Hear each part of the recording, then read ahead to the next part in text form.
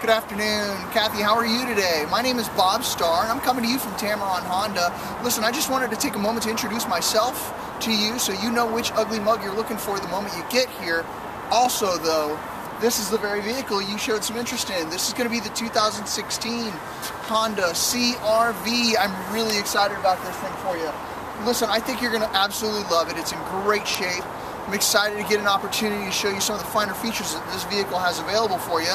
Give me a call so we can set up a VIP appointment at area code 334-546-0056 because I can promise you one thing.